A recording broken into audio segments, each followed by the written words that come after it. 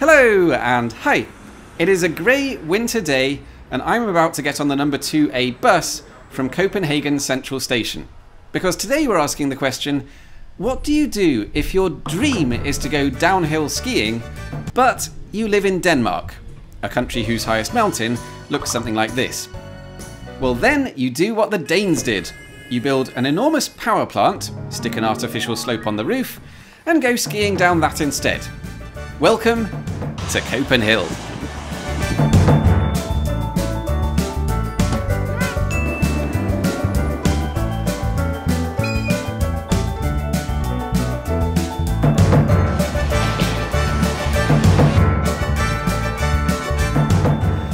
I've got off the bus in a neighbourhood called Margretheholm in the industrial harbour area on the east side of Copenhagen. It's not Copenhagen's most beautiful area. Hans Christian Andersen, it is not, but there are reasons why it looks like this.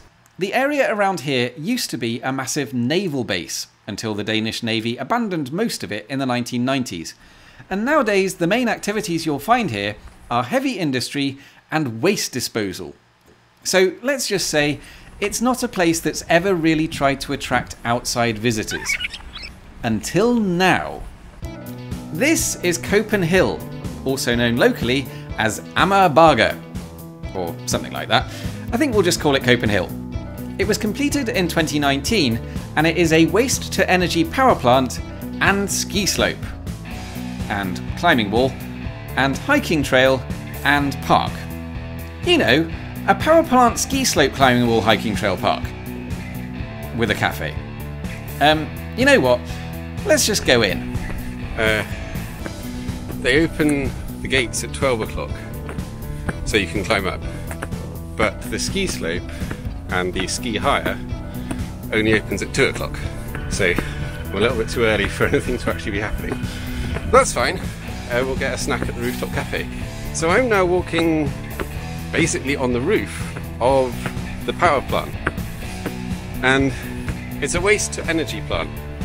So they burn waste and you get electricity and heat as well apparently. Sometimes the building has to let off steam like this. They'd say that it's completely normal and shouldn't harm you at all. We've now reached the rooftop cafe 78 metres above the streets of Copenhagen which is enough to make this the tallest and longest ski slope in the whole country. Now, I have to be honest, the cafe itself was nothing but a massive disappointment. There didn't seem to be any food or drink on sale, and there was no one around to sell it anyway. But soon enough, the ski lift starts whirring into action, and the first brave visitors begin to take to the slopes.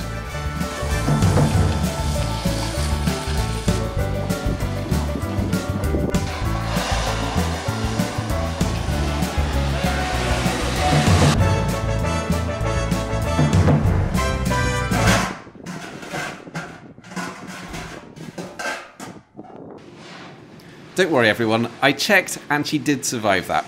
And I really want to try this myself now, but in a world where health and safety regulations are a thing, how have they got away with this? Let's be honest, power plants are not exactly famous for producing clean mountain air that you want to go skiing in.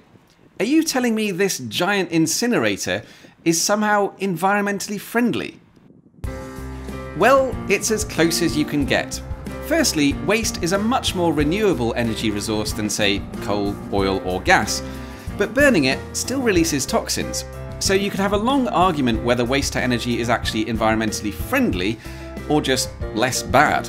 But here they claim to have made the cleanest waste to energy plant in the world. And how have they done that? It's complicated. There are other people out there who can explain this in much more detail than I ever could. But essentially, they've developed technology that filters nearly all of the toxins out of the emissions before they leave the building. The steam coming out of the chimney at the top is not 100% clean, but put it this way, it contains fewer toxins than the air you're breathing in the car park when you arrive.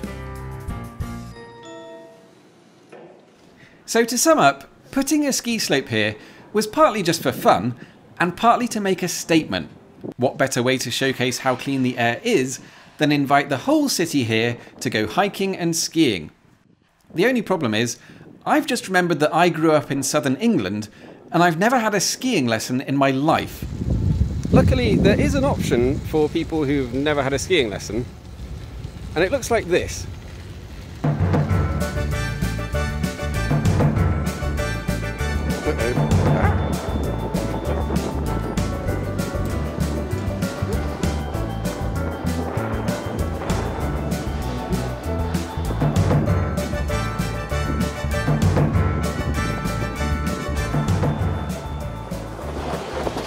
Fairly sure that looked majestic. If you'd like to go skiing on top of a giant waste to energy power plant, Copenhill is a 20 minute bus ride from central Copenhagen, plus a 10 minute walk. Entrance to the rooftop is completely free and fully accessible via the lift.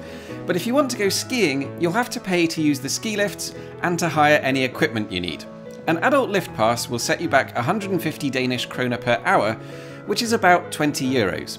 And as always, thank you very much for watching, and I'll see you soon.